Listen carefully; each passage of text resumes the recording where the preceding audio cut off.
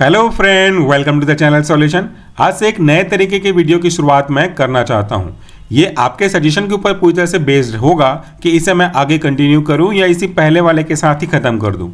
ये आप मुझे कमेंट बॉक्स में बताइएगा कि इस तरह की सीरीज़ चालू रखनी है या नहीं रखनी है। ये सीरीज़ में क्या होगा, कैसे मैं इसको वीडियो बनाऊँगा, वो आपको मैं थोड़ा ब्रीफ में समझा देता हूँ। हमने फार्माकोलॉजी पढ़ी है, पढ़ रहे हैं या पढ़ चुके हैं। हमने देखा कि ड्रग अलग अलग सिस्टम पे काम करते हैं। जैसे drug acting on respiratory system drug acting on gastrointestinal tract drug acting on endocrine या किसी और सिस्टम पे काम करने वाले ड्रग। हर एक ड्रग का अपना एक क्लास होता है और उसी क्लास के रेस्पेक्टिव हमने उसके एग्ज़ाम्पल भी पढ़े हुए हैं। यानी कि सीधा सीधा बोलूँ तो क्लासिफिकेशन पढ़ा हुआ है। इस क्लासिफिकेशन को हमने उनके एक्टिव कॉन्स्टिट्यूंट के हिसाब से समझा। इस सीरीज़ में क्या करने वाले हैं, हम उसी क्लास के, यानी कि रैंडम क्लास का कोई भी एक मार्केट प्रोडक्ट लेकर के आएँगे और उस प्रोडक्ट के बेसिक पार्ट्स के बारे में बात करेंगे, ताकि ये वीडियोस मैं मेडिकल के जो स्टूडेंट हैं एमबीबीएस वाले, उनके लिए भी एज वेल एज फार्माकोलॉजी पढ़ने वाले किसी भी डिसिप्लिन के बच्चों के लिए काम है कि ये कैसे काम करता है, इसकी बेसिक्स क्या कैसी होती है, बहुत शॉर्ट में देखेंगे। शुरुआत करने वाला हूँ मैं एक रैंडम वीडियो से, और यह है हमारा एक मार्केटेड प्रोडक्ट जिसका नाम है ओमी आपको नाम से समझ में आ रहा होगा ओमी यानी कि ये एक ऐसा ड्रग है, जिसको अगर आप किसी मेडिकल स्टोर में जाकर के बोलेंगे, मुझे ओमी दीजिए तो वो आपको ये दवाई दे देगा। लेकिन ये ओमी कोई ड्रग का नाम नहीं है, ये कोई एक्टिव कॉन्स्टमेंट नहीं है, ये एक ब्रांड नेम है। तो इसका एक्टिव कॉन्स्टमेंट कौन सा है? इसका एक्टिव कॉन्स्टेंट अगर आप देखेंगे कंपोजिशन में तो यहाँ पे आपको लिखा हुआ मिलेगा each hard gelatin capsule content हर एक शब्दों का मैं आपको मतलब बताते हुए चलूँगा। इसके कंपोजिशन में लिखा हार्ड जिलेटिन कैप्सूल तो इसका क्या मतलब होता है? ये एक कैप्सूल है और कैप्सूल दो तरीके के होते हैं। इस तरफ़ आप इसको देखे, देखते जाइएगा। कैप्सूल के दो मेन टाइप होते हैं। एक टाइप होता है आपका सॉफ्ट जिलेटिन कैप्सूल और दूसरा होता है आपका हार्ड जिलेटिन कैप्सूल।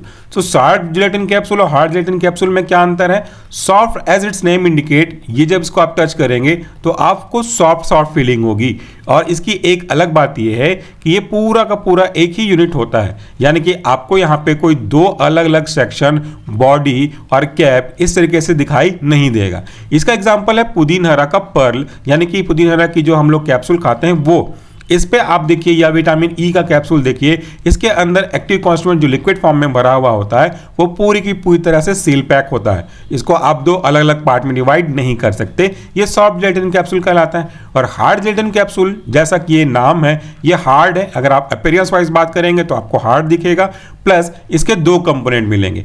एक मिलेगा आपको कैप और दूसरा होगा इसका बॉडी तो डेफिनेटली बॉडी के अंदर हमारे जो मेडिकामेंट हैं, चाहे वो किसी भी फॉर्म में हो depending upon the types of drug भरे हुए होंगे। चाहे ये तो आपके पाउडर के फॉर्म में होगा, चाहे ये आपके ग्रेन्यूल्स के फॉर्म में होगा। इनको फिल करने के बाद इनको कैप से हम कवर कर देंगे। तो इस तरीके से इसकी दो पार्ट हो गई बॉडी पार्ट और कवर पार्ट तो ये हमारा हार्ड जिलेटिन कैप्सूल होता है। इसके अंदर हमारा एक्टिव कॉन्स्टुएंट भरा हुआ होता है। एक्टिव कॉन्स्टेंट मतलब असल में वो यही ड्रग है जो आपको अगर आप लेते हो तो फिर आपकी बॉडी में वो एक्शन देगा, जिसके लिए हमने लिया हुआ है। यहाँ पे क्या है एक्टिव कॉन्स्टेंट यह है हमारा omeprazole omeprazole this is the main drug इसको आप यहाँ से भी देख सकते हो। चलिए अब आ गया हमारा फार्माकोलॉजी ओमेप्राजोल कौन सी कैटेगरी का ड्रग है? ओमेप्राजोल अगर आपने ऐसे ड्रग के बारे में पढ़ा हुआ है जो हमारे एसिड के सिक्रेशन को अफेक्ट करते हैं तो उसमें आपको ये देखने को मिलेगा। ओमेप्राजोल का जो क्लास है या सब क्लास है, वह है आपका proton pump inhibitor proton pump inhibitor. मतलब ऐसे ड्रग जो किसको इनिबिट करते होंगे?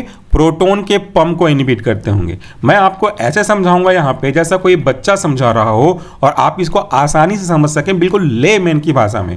प्रोटोन पंप, सबसे पहले पहले वर्ड का मतलब समझ लेते हैं, ताकि आप इसके कॉन्सेप्ट को अच्छे से समझ में आ जाए।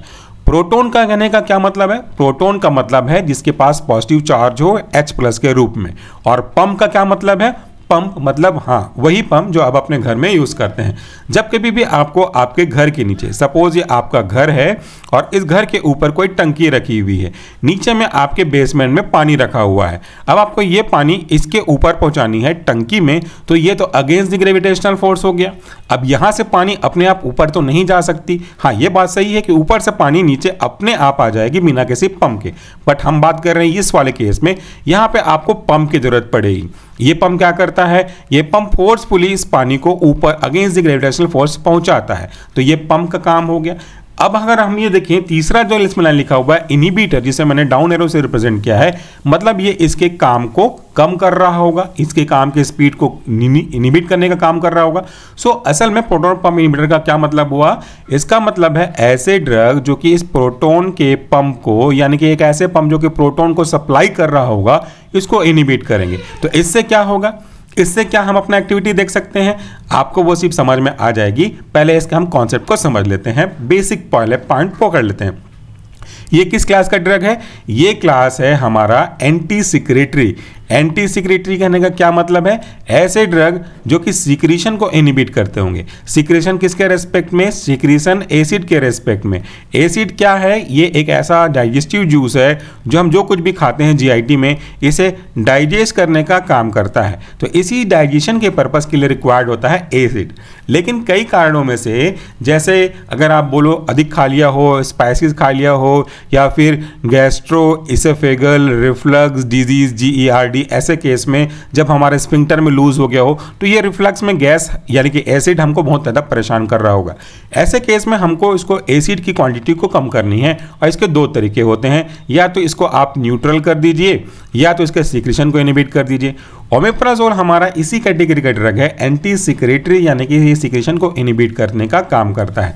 सिक्रीशन किसका? एचसीएल का। एचसीएल कैसे बनता है भाई? ये रफ में समझा रहा हूँ, आपको बहुत केमिस्ट्री नहीं पढ़ाने वाला। एचसीएल बनता है digestive juice H plus plus C L minus के कॉम्बिनेशन से। तो ये देखिए एच सी एल के बनने के लिए क्या चाहिए? H plus plus C L चाहिए। इसको कुछ ऐसा लिखा जाए, दोनों तरफ़ डायरेक्शन से देखिए तो एच सी एल टूटेगा तो इसमें टूटेगा, और ये दोनों जुड़ेंगे तो एच सी एल में बन के आ जाएँगे। तो ये हमारा एक बेसिक कॉन्सेप्ट हुआ। जब कभी भी हम सेल के रेस्पेक्ट में बात करते हैं तो ये अगर हमारा सेल है और ये हमारा एक को ट्रांसपोर्टर है तो ये जो पोटेशियम है, ये आपके सेल के बाहर पहुँचता है। इसके रेस्पेक्ट में इसको बैलेंस करने के लिए एक H प्लस आयन अंदर आता है और ये H प्लस आयन हमारे सेल में प्रेजेंट क्लोराइड के साथ मिलकर के HCl बना लेते हैं और यही हमारे एसिड के लिए रिस्पॉन्सिबल है। अब भाई ये ओके ओके हो मतलब सही क्वांटिटी में हो, तब तो कोई दिक्कत नहीं, बहुत ही अच्छी बात है। लेकिन अगर इसकी क्वांटिटी ज़्यादा हो रही हो तो हमको भी प्रॉब्लम होगी। हमको एस होगी, हमको जी e की प्रॉब्लम होगी, और भी कई सारे एसोसिएटेड प्रॉब्लम होंगे तो हमको उनको इनिबिट करना है। हमारा जो ओमेप्राजोल है which is a category of proton pump inhibitor जैसे मैंने कहा तो ये पंप ही तो है। ये तो डायग्राम मैंने आपको बना के दिखाया, ये पंप है। इसी प्रोटोन पंप मतलब हमारा प्रोटोन का आना जो इसके थ्रू हो रहा है, एक पंप के थ्रू इसी को अगर हम इनिबिट कर दें, यहाँ से इसको देखिए जो H प्लस आ रहा था इसको मैंने इस तरीके से गायब कर दिया। तो जब H प्लस ही अवेलेबल नहीं होगा तो Cl किसके साथ बाइंड करेगा? और जब Cl बाइंड नहीं करेगा तो हमारा HCl का जो फॉर्मेशन हो रहा था यहाँ पे, अब देखिए वो कहाँ होगा? गायब हो गया ना? तो इससे एसिड नहीं बनेगा एक्सेस में, और हमारा जो प्रॉब्लम थे एसिड की वजह से, वो हमको देखने को नहीं मिलेगी। That problem will be dissolve तो ये हुआ हमारा ओमेप्राजोल के काम करने का तरीका। ये हमारा ब्रांड नेम हो गया। आगे के पॉइंट को मैं और आपको और एक्सप्लेन कर दूँ ताकि जनरल पब्लिक भी अगर देख रहा हो तो साथ साथ समझ चले। ओमेप्राजोल के आगे देखिए आप लिखा हुआ है इंडियन फार्माकोपिया शॉर्ट में लिखा हुआ है आईपी इसका मतलब है ये एक ऐसे फार्माकोपिया को फॉलो करता है जिसमें हमारा इंडियन फार्माकोपिया इंक्लूडेड है। इसका जो कंसनट्रेशन है वह है ट्वेंटी एम और इसमें एग्जिपेंट ऐड किए गए हैं। एक्जिपेंट का क्या मतलब होता है? एक्जिपेंट ऐसे एजेंट होते हैं जिनकी खुद की कोई थेरापेटिक वैल्यू नहीं होती। मतलब ये कोई दवाई नहीं है। इनको अगर आप ऐड करोगे तो ये अपना कोई फार्माकोलिकल इफ़ेक्ट नहीं देंगे। मतलब इनर्ट सब्सटेंस है। ये केवल बल्क को बढ़ाने के लिए यूज़ करते हैं। इसलिए यहाँ पे लिखा हुआ है क्वांटिटी में देखेंगे क्यूएस जिसका मतलब होता है क्वांटिटी सफिशियंट इसको एस क्यू नहीं लिखते? सफिशियंट क्वांटिटी नहीं लिखते। इसको लिखते हैं क्वांटिटी सफिशियंट तो ये हो गया हमारा आज का प्रोडक्ट ओमी के बारे में। अब यहाँ पे एक और चीज़। जो आपको जाननी चाहिए कि ये जो ओमेप्राजोल है, इसको हमको कब लेना होता है? कितना लेना होता है वो तो मैं आपको कभी नहीं बताऊँगा। कब लेना है? ये आपको एम्प्टी स्टमक लेना है। ताकि आपके जो गैसिड गैस्ट्रोनेसाइल में एसिड का सिक्रेशन होने वाला हो, उसे आप इनिशियल लेवल पे सप्रेस कर सकें। इसका यूज़ अधिक मात्रा में नहीं करिएगा, क्योंकि कई सारे और जो मेडिसिन होते हैं, जिनको आप साथ में ले रहे होते हैं, उनको काम करने के लिए जीआई पे एसिड का इन्वायरमेंट चाहिए होता है। और अगर आपने ये दवाई ले ली, बिना किसी से पूछे, बिना किसी सलाह के तो ये दवाई आपके जीआई में एसिड के अमाउंट को कम कर देगा, जिससे दूसरा कोई ड्रग अगर आप ले रहे हो बाई चांस तो उसके लिए एसिड का माहौल नहीं मिल पाएगा और वो जो ड्रग है, दूसरा वाला ड्रग, वो सफिशेंट तरीके से काम नहीं करेगा। और इसके कारण से आपको इंडाइजन की प्रॉब्लम भी हो सकती है। अगर आप एक्सेस में बिना किसी डॉक्टर के प्रिस्क्रिप्शन के यूज़ करेंगे तो। यहाँ पे ये भी बताना आवश्यक है कि कोई भी ड्रग के काम करने के एक स्पेसिफिक तरीके और उसका एक स्पेसिफिक मोटिव होता है और इस ड्रग का जो स्पेसिफिक मोटिव है, वह आपके एसिड के सेक्शन को कम करना। तरीका है कि ये जो प्रोटॉन हमारा पंप के थ्रू आ रहा है, इसको इनिबिट कर देना ताकि इसके थ्रू H प्लस यानी कि प्रोटॉन की अवेलेबिलिटी को इनिबिट किया जा सके। तो ये रहा छोटा सा एक्सप्लेनेशन जिसमें दो चीज़ें कवर हो गई। एक तो ड्रग के बारे में भी कवर हो गया, दूसरा आपकी फार्माकोलॉजी रिगार्डिंग ओमेप्राजोल यानी कि एंटी सिक्रेटरी ड्रग यानी कि प्रोटोन पर मिलीमीटर वो भी कवर हो गया। बाकी आप बताइए कमेंट बॉक्स में कि आपको और ऐसी वीडियोस चाहिए या नहीं चाहिए। अगर आप हाँ बोलेंगे तो वीडियो की शुरुआत हो जाएगी, और नहीं तो इसी के साथ। Thank you so much watching इस वीडियो नमस्कार टेक केयर